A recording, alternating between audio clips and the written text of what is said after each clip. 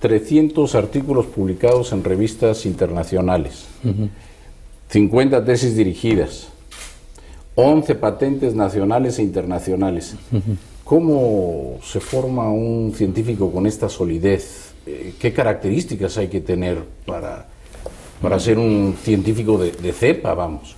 Primero, ser una persona normal. No hace falta ser muy inteligente porque yo me considero normal.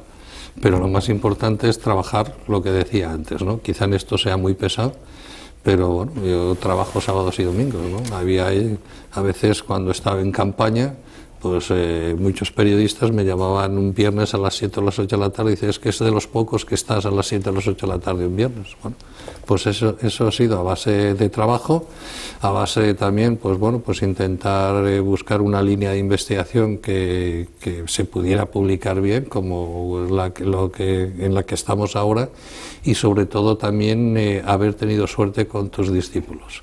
O sea, si yo, como digo siempre, eh, tengo un grupo fenomenal, un grupo de jóvenes eh, que saben mucho más que yo, entonces eso es una suerte y ahora pues pueden ir ellos solos, ¿no? Por, eso estoy en el rectorado, pero son estas personas las que de alguna manera me han ayudado.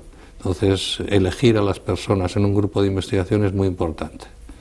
Eh, mi filosofía es que primero tiene que ser persona.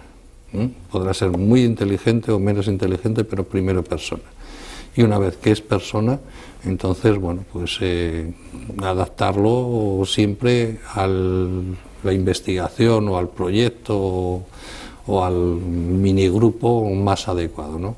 Y he tenido esa suerte y ahora, bueno, pues tengo un grupo en el que hay 21 personas que están trabajando, que yo estoy en el rectorado y ellos están trabajando en el laboratorio. Pero es muy importante el tener un equipo eh, que te respete y nos respetemos todos, ¿no? Entonces, desde el respeto tanto del jefe hacia ellos como de ellos hacia mí, yo creo que eso es muy importante. Mm.